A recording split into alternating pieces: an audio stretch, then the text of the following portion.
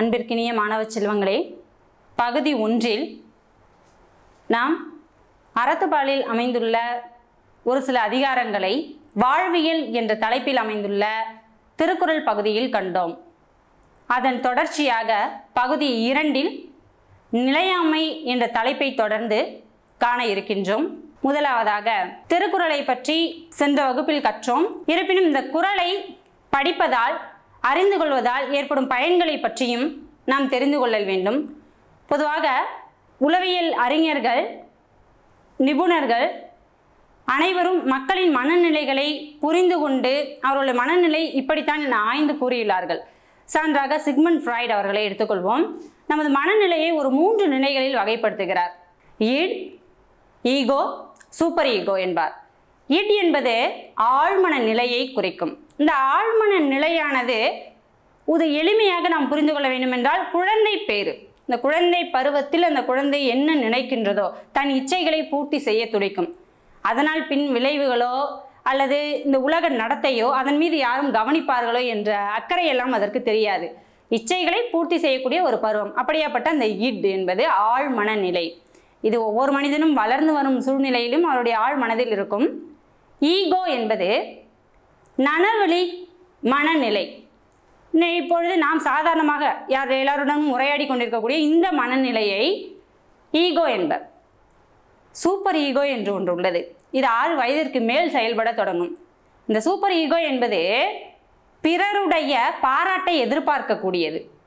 இந்த உலகத்தில் சமூகத்தில் தனக்கென ஒரு அங்கீகாரத்தை நிலை நிறுத்தி கொள்ள துடிக்கக்கூடியது ஆக இந்த பருவத்திற்கு ஏற்ப திருவள்ளுவரும் நிறைய குரட்பாக்களில் விளக்கியுள்ளார் சான்றாக பாருங்கள் நாம் ரசிக்கும் பொழுது பாடல் சிறந்தது அது சிறந்தது இது சிறந்ததுன்னு எவ்வளவு எவையவற்றையோ குறிப்பிடுகின்றோம் அவர் அழகாக சொல்வார் குழல் இனிது யாழ் இனிது என்பர் தம் மக்கள் மழலை சொல் கேளாதவர் வேளாம் இனிமை இனிமைன்னு சொன்னாக்க குழந்தைகளுடைய இந்த மழலை சொல்லை கேளாதவராய் இருப்பார் ஆக ஆழ் மன நிலை மனிதனுடைய பிறவியில் இருக்கக்கூடிய அந்த குழந்தை பருவத்தில் இருக்கக்கூடிய அந்த நிலையை அங்கே சுட்டி காண்பிக்கிறார் அடுத்ததாக வாழ்க்கையில் எவ்வாறு வாழ வேண்டும் இழ்வா இல் வாழ்க்கையே சிறந்தது துறவு சிறந்ததா வாழ்க்கை சிறந்ததா அல்லது பிறருக்கு உதவுதல் சிறந்ததா என்பதற்கு அவர் தரக்கூடிய விளக்கம் என்னவெனில் இல்வாழ்க்கை தான் சிறந்தது இல்வாழ்வில் தான் அனைத்து விதமான ஆசைகள் பேராசைகள் எல்லாவற்றையும் கடந்து அடிபட்டு இறுதியாக அவன் துறவு நிலைக்கு செல்வான் அப்படியாப்பட்டவனுடைய மனதில் மட்டுமே அப்பழுக்குகள் நீங்கி முழுமையாக நிற்கும் என்பது அவர்தம் கருத்து அந்த வகையில் மேல் மனநிலையாகிய இந்த பாராட்டினை எதிர்பார்க்கக்கூடிய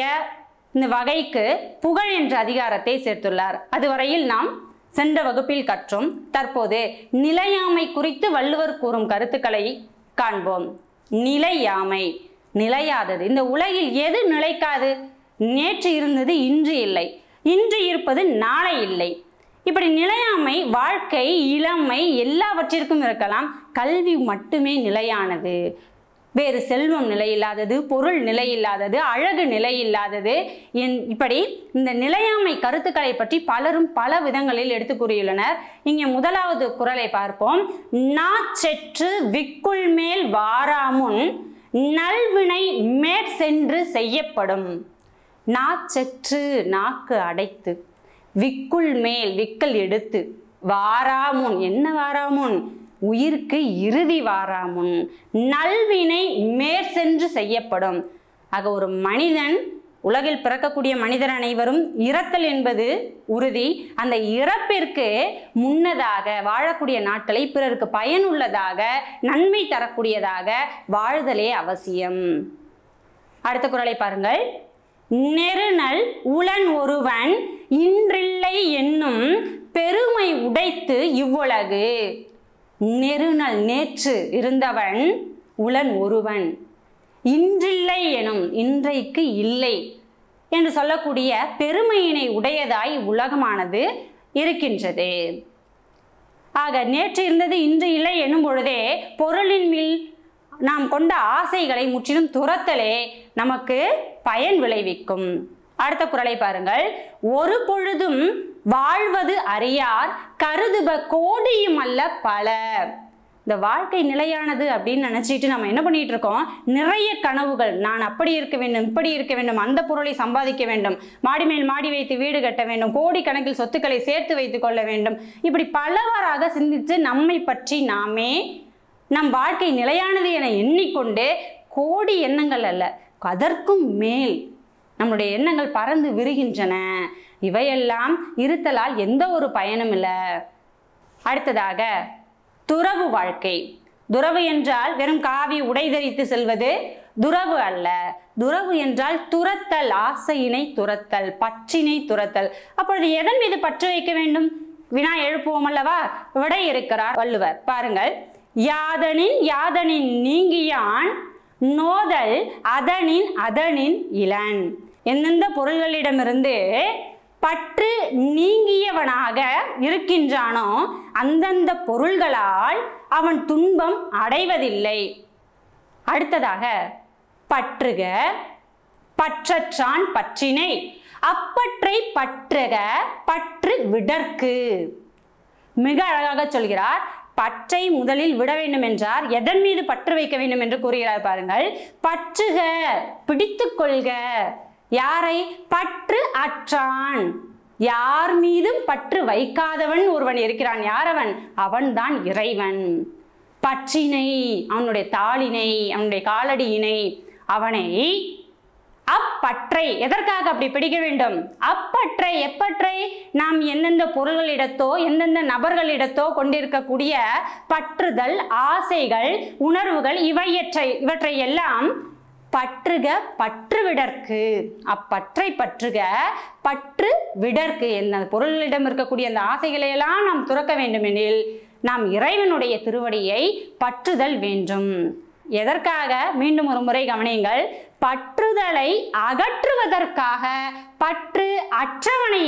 பற்றி நிற்றல் வேண்டும் என்று குறிப்பிடுகின்றார் இக்குரட்பாவில் பற்று என்ற சொல் பலமுறை திரும்ப திரும்ப வருகிறது வேறு வேறு பொருள்களை தருகிறது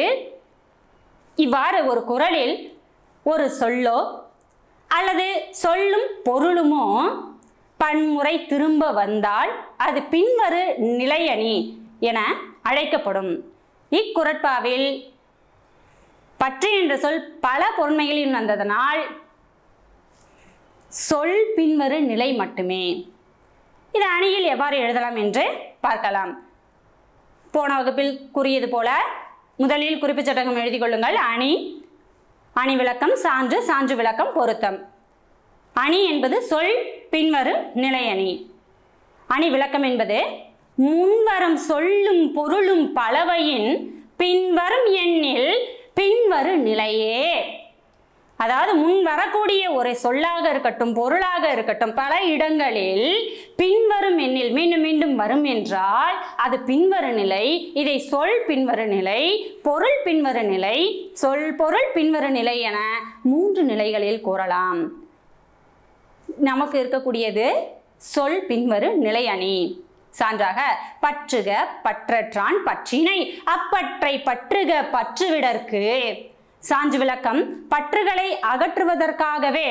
பற்று அற்றானுடைய பற்றினை பற்றி நிற்க வேண்டும் பொருத்தம் இக்குரட்பாவில் பற்று என்ற ஒரு சொல் மீண்டும் மீண்டும் பயின்று வந்துள்ளமையின் சொல் பின்வரும் நிலைக்கு சான்றாயிற்று அடுத்ததாக அவா அறுத்தல் அவா என்றால் என்ன பழங்காலங்களில் கடிதம் எழுதும்போது நலம் நலம் அறிய அவா எழுதுவோம் அல்லவா அப்ப அவா என்றால் என்ன விருப்பம் அவ அறுத்தல் விருப்பத்தினை நீக்குதல் பேராசை புத்த பெருமான் கூறுவார் ஆசைகளே அழிவிற்கு காரணம் ஆசைகளை விட்டொழியுங்கள் இங்கே வள்ளுவரும் அதைத்தான் கூறுகிறார் அவ அறுத்தல் ஆசைகளை துறந்து விடுதல் வேண்டும் ஏன் இதற்கு இந்த குரல் வழி விளக்கம் காணலாம் இன்பம் இடையராது ஈண்டும் அவாவென்னும் துன்பத்துள் துன்பம் கெடின் பாருங்க இன்பம் இடையரா இறையராவது தீண்டும் இறையராது எப்பொழுது கிடைக்கும் நமக்கு இன்பம்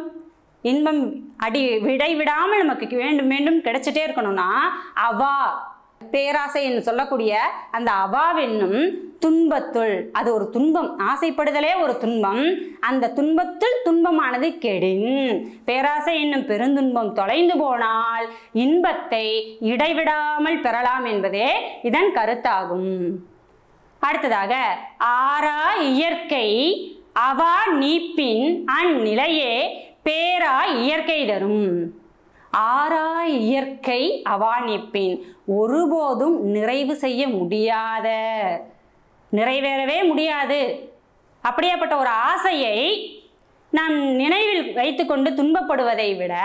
அந்த ஆசையினை விட்டு ஒழித்து ஒழித்து விட்டால் நிலையான இன்பம் இயல்பாய் வரும் பழமொழிகளில் நம்மளுடைய முன்னோர்கள் பலவாறு கூறுவார்கள் எட்டாவது இருக்கும் கனியை விட கிட்டை அதாவது எட்டா கனியாக இருக்கும் பழத்தின் மீது ஆசை வைப்பதை விட கையில் இருக்கும் கலாக்காயே மேல் என உரைப்பார்கள் இது இது பற்றியே ஆக ஆசையை துரத்தலே நம் வாழ்விற்கு பெரும் பயனை விளைவிக்கின்றது அடுத்ததாக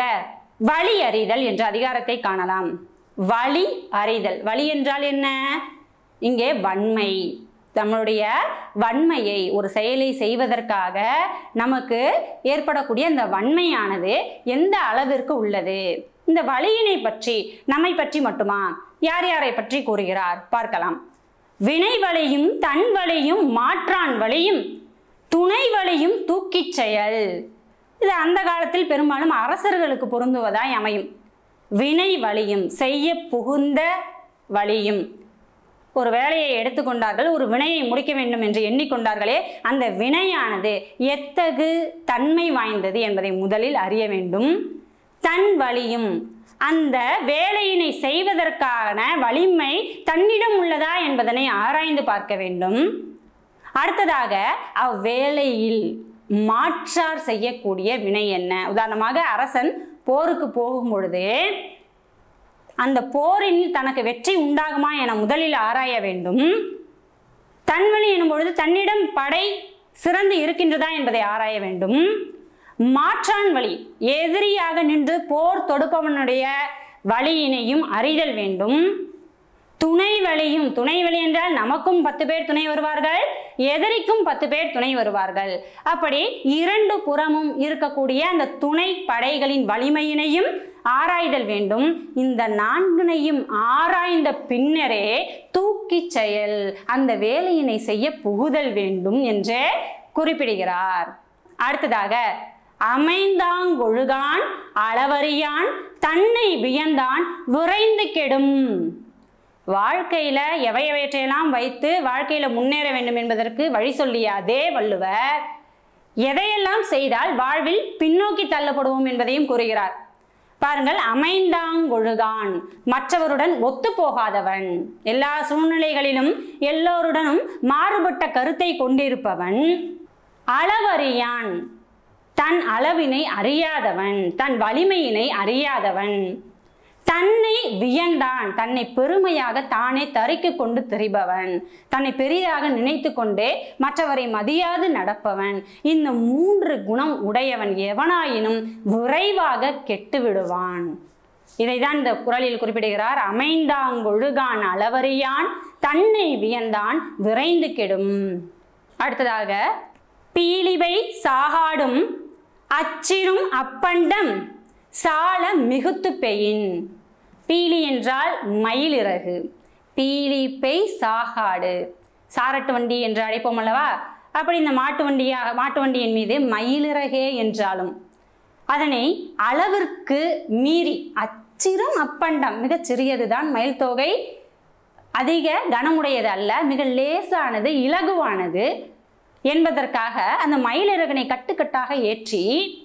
இந்த மாட்டு வண்டியில் ஏற்றி வைத்தோமே ஆனால் சால மிகுத்து பெயின் முடிந்த அளவுக்கு நிறைய ஏற்றிக்கொண்டே போகிறோம் அளவே பார்க்காமல் அப்படி ஏற்றினால் என்ன நடக்கும் வண்டியினுடைய அச்சாணி முறிந்துவிடும் மீண்டும் இந்த குரலை கவனியுங்கள் பீலிபை சாகாடும் அச்சிரும் அப்பண்டம் சால மிகுத்து பெயின் அளவு அறியாமல் நீ மயிலிறகை மிக அதிகமாக ஏற்றினால் கூட வண்டியின் அச்சாணி முறிந்துவிடும் என்றால் நீ எடுத்துக்கொண்ட செயலை மிக அதிக வலிமையுடைய ஒரு செயலை வலிமை குறைந்த ஒருவர் எடுத்துக்கொள்வது என்பது இதற்கு சமம் அந்த வினையினை முடிக்க இயலாது என்பதை நாம் பெற்றுக்கொள்கின்றோம் என்பதால் இதில் பயின்று வந்துள்ள அணி பிரிது முழிதல் அணி ஒன்றை கூறி மற்றொன்றை பெற வைத்தல் இதுதான் பிரிது மொழி அணி இதனை தண்டியாசிரியர் ஒட்டணி என்று கூறுவார் அளவறிந்து வாழாதான் வாழ்க்கை உள போல இல்லாகி தோன்றா கெடும் நம்மிடம் இருக்கக்கூடிய பொருளை அளந்து அதற்கு ஏற்ப நம் வாழ்க்கையை நடத்தாவிட்டால் பார்ப்பதற்கு எல்லாம் இருப்பது போல தோன்றினாலும் விரைவிலேயே ஒன்றும் இல்லாதவர்களாக மாறிவிடுவோம் அடுத்ததாக காலம் அறிதல் காலத்தினை அறிந்து செயல்படுதல் வேண்டும் சமயோசித அறிவு என்று தற்காலத்தில் நாம் வழங்குவதும் இதனைதான் காலம் யாருக்கு எப்பொழுது எங்கு வேண்டுமானாலும் வாய்க்கலாம் வாய்த்த இடத்தில் மிகச்சரியாக அதனை பயன்படுத்தல் வேண்டும் இதனை கீழ்கண்ட குரல்கள் வழி நாம் காணலாம் முதலாவதாக அருவினை என்ப உளவோ கருவியான் காலமறிந்து செய்யின் அருவினை மிக அரியதாகிய செயல் என்று ஒன்று இல்லவே இல்லை எவ்வளவு கடினமான செயல் என்றாலும் தக்க முயற்சி இருந்தால் அதனுடைய வழியை பின்பற்றினால் காலத்தினை அறிந்து செயல்பட்டால் எப்படியாப்பட்ட வினைகளையும் நாம் எளிதில் முடிக்க இயலும் அடுத்த குரலை பாருங்கள் ஞானம் கருதினும் கைகூடும் காலம் கருதி இடத்தால் செய்யின் அதாவது ஞாலம் உலகம் உலகமே கிடைக்க வேண்டும் என நினைத்தாலும் கைகூடும் எப்பொழுது காலம் கருதி கிடைத்த நேரத்தை மிகச்சரியாக பயன்படுத்துபவனுக்கே அந்த இடத்தில் செய்யக்கூடிய வேலைகள் விளைவாக இந்த உலகமே தன் கைக்குள் கிடை கிடைத்துவிடும் காலம் கருதி இருப்பர் கலங்காது ஞாலம் கருதுபவர் முன்னர் கூறினோம் அல்லவா இங்கே உலகமே கிடைக்க வேண்டும் என்ற எண்ணம் அந்த எண்ணத்தினை நினைத்ததை சாதிக்க வேண்டும் என்ற எண்ணத்தை கொண்டவர் எப்படி இருக்க வேண்டும் என்றால் காலம் கருதி இருப்பர் சக்க காலத்தை எப்படி கொக்கானது இரண்டு கால்களில் ஒன்றை மடக்கி கொண்டு ஆற்றோரக்கரையில் நிற்கும் சிறிய மீன்களை எல்லாம் விட்டுவிட்டு பெரிய மீன் எப்படி வருமோ அதை பார்த்து அதை உடனே தனக்கு உணவாக்கி கொள்ளும் அந்த குறித்த காலத்தை நோக்கி காத்திருப்பது போல காலம் வாய்க்கும் வரை நாமும் காத்திருந்து கலங்காது ஞாலம் கருதுபவர் அந்த உலகத்தினை வெல்ல நினைத்தாலும் வெல்ல இயலும் அடுத்த குரலை பாருங்கள் எய்தற்கு அரியது இயைந்த கால் அந்நிலையே செய்தற்கு அரிய செயல் எய்தற்கு அரியது நமக்கு ஒரு நேரம் கிடைக்கும் குறிப்பிட்ட நேரம் அந்த நேரத்திற்குள் அந்த வாய்ப்பை நாம் பயன்படுத்தாவிட்டால் அந்த வாய்ப்பினை பயன்படுத்தி பலர் முன்னுக்கு வந்து விடுவார் அன்பு மாணவ செல்வங்களே இதுவரை திருக்குறளையும் அதற்கான பொருள்களையும் கண்டோம் இனி வள்ளுவர் கூறிய வழியிலேயே வள்ளுவத்தை பயில்வோம் கற்க கசடர கற்றவை கற்ற பின் நிற்க அதற்கு தக என்பது போல் கற்பவை கற்ற பின் கற்பவற்றை கற்றாயிற்று கற்ற பின்னர் என்ன செய்ய வேண்டும் நாம் எந்த அளவிற்கு கற்றிருக்கிறோம் வினாக்கள் வழி நாம் தெளிவாக்கி கொள்ளல் வேண்டும் உங்களுடைய பாட புத்தகத்தில் ஒரு படத்தை கொடுத்திருப்பார்கள் படத்திற்கு பொருத்தமான திருக்குறளை கண்டறிக நாம் கூறிய குரல்களை எல்லாம் நினைவில் வைத்துக் கொள்ளுங்கள் சான்றாக உங்கள் பாட புத்தகத்தில் ஒரு மலையை போட்டு அதற்கு முன்னதாக ஒருவர் அமர்ந்திருக்கக்கூடிய ஒரு புகைப்படத்தை வைத்திருப்பார்கள் அவர் மலையை விட உயர்வாக தெரிவார் உடனே நமக்கு எந்த குரல் நினைவிற்கு வர வேண்டும் நிலையின் பிரியாது அடங்கியான் தோற்றம் மலையினும் மானப்பெரிது அப்படி அடுத்ததாக ஒரு நாலடியார் பாடல் கொடுக்கப்பட்டுள்ளது உங்களுடைய பாடப்புத்தகத்தில் அந்த பாடலை கவனியுங்கள் மலை மிசை தோன்றும் மதியம் போல் மலை மிசை மலையின் மீது மேலே அப்படின்னு பொருள் மிசைனா என்ன மேலே என்பது பொருள் மலைமிசை தோன்றும் மதியம் போல் மதியம் என்றால் என்ன நிலவு அதை போல் யானை தலைமிசை கொண்ட குடையர் யானையின் மீது யார் அமர்ந்து வருவார் யானை தலையின் மீது கொண்ட குடையர் குடைக்கு கீழ் அமர்ந்திருப்பவர் யார் அரசர் ஏன் இங்கே சந்திரனையும் கூறுகிறார் அரசனையும் கூறுகிறார் என்றால் அந்த நிலவு எவ்வளவு குளிர்மை தருகின்றதோ அந்த அளவிற்கு தன் கீழ் வாழக்கூடிய குடிமக்களை சற்றும் துன்புறுத்தாத இனிமை வாய்ந்த அரசன் நிலமிசை துஞ்சினார் இந்த நிலத்திலே நீண்ட நாள் வாழ்ந்தார் என்றெடுத்து தூற்றப்பட்டார் அல்லால் எஞ்சினார் இவ்வுலகத்தில் இந்த உலகத்தில் நாம் எவ்வளவு நன்மை செய்தாலும் எப்படியாப்பட்ட ஆள்களாக இருந்தாலும் பிறப்பு என்பது உண்டு என்பது போல நிச்சயம் இறப்பு என்ற ஒன்று உள்ளது நன்றாக நினைவில் கொள்ளுங்கள் அரசனாயினும் சரி ஆண்டியாயினும் சரி கண்டிப்பாக இந்த உலகில் நிலையாக வாழ்வதற்கு என்ன இல்லை இடம் இல்லை தெளிவாக புரிந்து கொண்டீர்களா இதற்கான குரல்கள் ஒரு மூன்று குரல்கள் உள்ளது இதில் மிகச் சரியான குரலை நீங்கள் தேர்ந்தெடுக்க வேண்டும் ஒன்றா உலகத்து உயர்ந்த புகழ் அல்லால் பொன்றாது நிற்பது ஒன்று இல் இந்த உலகத்தில் புகழை போல சிறந்தது எதுவும் இல்லை இது முதல் குரலுக்கான விளக்கம் இரண்டாவது குரலை பாருங்கள் நெருநல் உளனொருவன் இன்றில்லை எனும் பெருமை உடைத்த இவ்வுலகு நேற்று இருந்தவன் இன்னைக்கு இல்லை இந்த பெருமையை கொண்டதுதான் இந்த உலகம் அடுத்த குரலை பாருங்கள் அளவறிந்து வாழாதான் வாழ்க்கை உளபோல இல்லாகி தோன்றா கெடும் அளவை அறியாமல் அவன் இஷ்டப்படி வாழக்கூடிய அந்த வாழ்க்கை பார்ப்பதற்கு இருப்பது போல் இருந்தாலும் நாளை இல்லாமல் இருக்கும் இப்பொழுது கூறுங்கள் இந்த மூன்றில் எது இந்த நாலடியார் பாட்டிற்கு மிக பொருத்தமாக அமைகின்றது என்று அன்பு மாணவ செல்வங்களே சரியாக கூறியிருந்தால் வாழ்த்துக்கள் நெருநல் உளன் ஒருவன் நேற்று இருந்தவன் இன்று இல்லை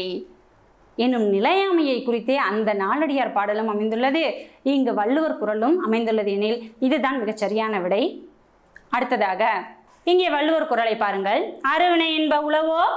கருவியான் காலம் அறிந்து செய்யின் அரியவினை என்று ஒன்று இல்லை தக்க கருவியை கொண்டு காலம் அறிந்து நாம் செயல்பட்டால் இரண்டாவது குரலை பாருங்கள் பீலிவை சாகாடும் அச்சினும் அப்பண்டம் சாலம் மிகுத்து பெயின் மயிலிறகே என்றாலும் அளவுக்கு மிஞ்சினால் அது அமிர்தமும் நஞ்சாக மாறிவிடும் என்பது போல் இன்பம் இடையராது ஈண்டும் அவா என்னும் துன்பத்துள் துன்பம் கெடின் இன்பம் விடைவிடாமல் கிடைக்கும் எப்பொழுது அவா இந்த ஆசை என்னும் துன்பத்துள் துன்பம் ஆசையே ஒரு துன்பம் தான் அந்த துன்பத்தை மறக்கிறது அதை விட துன்பம் சொல்லுவாங்க இல்லையா நினைக்க தெரிந்த மனமே உனக்கு மறக்க தெரியாதா இதுதான் அது இப்படி வள்ளுவர் குரலிலிருந்தும் சங்ககால பாடல்களிலிருந்தும் தான் நம்மளுடைய பா திரை இசை பாடல்கள் கூட எழுகின்றன மாணவ செல்வங்களை இப்படி ஒப்பு நோக்குங்கள் இவற்றில் எது சரியானது வாழ்த்துக்கள் சரியாக ஆனால் இன்பம் இடையறாது ஈண்டும் அவா என்னும் ஆசை துன்பத்துள் துன்பம் கெடின் அடுத்ததாக அழகிட்டு வாய்ப்பாடு நீங்கள் பத்தாம் வகுப்பில் ஏற்கனவே கற்றிருப்பீர்கள் எழுதியும் இருப்பீர்கள் நினைவு கூறுதல் வழி அந்த அழகிட்டு வாய்ப்பாட்டிற்கு அசை பிரித்தல் நமக்கு அவசியமாகும் காரணத்தினால் மீள்கொணர்வோம் அசை என்றால் என்ன நேரசை நிறையசை என்ற இரு நிலைகளில் பார்க்கலாம் நேரசை என்றால் என்ன தனி குறிலோ தனி நெடிலோ தனி குறில் என்றால் என்ன ப தனி நெடில் என்றால் என்ன பா தனிக்குறிலும் ஒற்றும் ப இல் பல் தனிக்குறிலோடு ஒற்று வந்தது தனி நெடிலோடு ஒற்று பா இல் பால் இவ்வாறு வரக்கூடிய இந்த நான்கு நிலைகளையும் நேர் என்ற அசையால் குறிப்பிடுவோம் தனிக்குறில் தனிக்குறிலோடு ஒற்று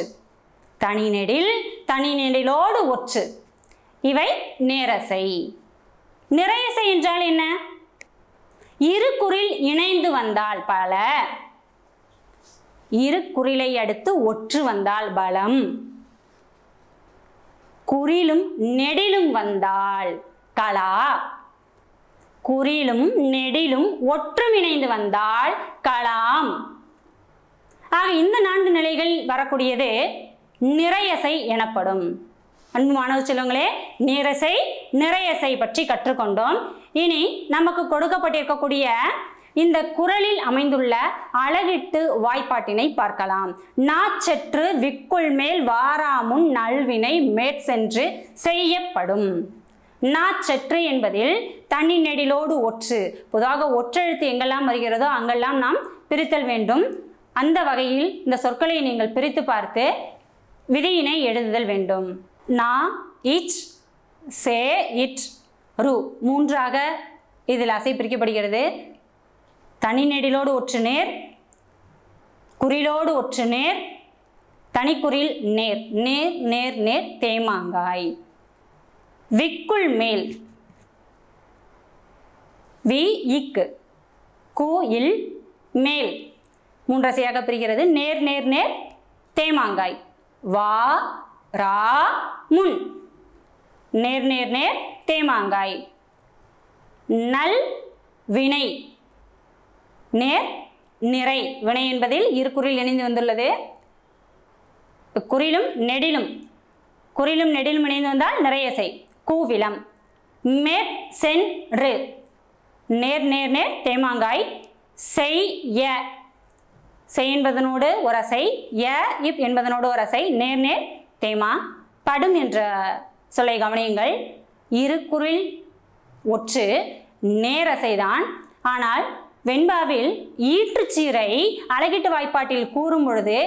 நேர் என்றால் நாள் என்றும் நிறையென என முடிந்தால் மலர் என்றும் நேர்வு என முடிந்தால் காசு என்றும் நிறைவு என முடிந்தால் பிறப்பு என்றும் எழுதுதல் வேண்டும் இந்த வாய்ப்பாட்டினை பிரித்துவிட்டோம் சரியா தவறா சந்தேகம் எழுகின்றது மேடம் அப்படியே நன்றாக கவனியுங்கள் இந்த நாச்சற்று என்பதை மட்டும் தனி நெடிலோடு ஒற்று நேர் என எழுதியிருக்கிறோம் அடுத்தது சே இற்று குறிலோடு ஒற்று நேர் என எழுதியிருக்கிறோம் ரூ என்பதை நேர் என எழுதியிருக்கின்றோம் அதற்கான வாய்ப்பாடு தேமாங்காயா புளிமாங்காயா சந்தேகம் வருகிறது அதையே பிரித்து பாருங்கள் தேமாங்காய் எழுதியுள்ளோம் பிரியுங்கள் தே தனி நெடில் நேர் வந்து விட்டதா மா இங் நெடிலோடு ஒற்று நேர் வந்து விட்டதா கா இ தனி நெடிலோடு ஒற்று நேர் வந்து விட்டதா இவ்வளவுதான் நாம் பிரித்ததை அந்த வாய்ப்பாட்டினையும் மீண்டும் பிரித்து பார்த்தீர்களே ஆனால் சரியா தவறா என்பதை நீங்களே புரிந்து கொள்ளலாம் இந்த வகையில் சிறப்பாக கற்று அழகிட்டு வாய்ப்பாட்டில் முழு மதிப்பெண் நாம் பெற இயலும் இதுவரையில் திருக்குறளில் உள்ள கருத்துக்களையும் அதன் வாயிலாக நாம் கற்றவற்றையும் கண்டோம் இன்னும் பல சிறப்புகள் பொதிந்து கிடக்கின்றன உதாரணமாக இந்த பற்றுக பற்றற்றான் பற்றினை அப்பற்றை பற்றுவிடற்கு என்ற குரலை நாம் கண்டோம் அல்லவா இதனை உதடினை ஒட்டாமல் நம்மால் கூற இயலாது அதே போல யாதனின் யாதனின் நீங்கியான் நோதல் அதனின் அதனின் இல என்ற ஒரு குரலையும் கண்டோம் அந்த குரலை கூறும் பொழுது நமது உதடானது எந்த ஒரு இடங்களிலும் ஒட்டாது இது தனிப்பெரும் சிறப்பு இப்படி குரட்பாக்களில் திருக்குறளில் ஐயன் தந்த திருக்குறள் முழுக்க நிறைய செய்திகளும் சிறப்புகளும் பொதிந்து கிடக்கின்றன அவற்றையெல்லாம் திருக்குறளை நன்கு ஆழ்ந்து கற்று இன்பம் பெறுவீர்களாக பல இடங்களில் மேடை பேச்சுகளுக்கும் வாழ்க்கையின் அடிப்படை தளங்களுக்கும் நாம் வேண்டும் முயற்சிகளுக்கு உறுதுணையாகவும் திருக்குறள் நிற்கும் அதனால்தான் பல நாடுகளிலும் பல மக்களாலும் பல அறிஞர்களாலும் இது போற்றப்படுகிறது என்பதை நினைவில் கொண்டு நன்றாக கற்க வேண்டும் நன்றி வணக்கம்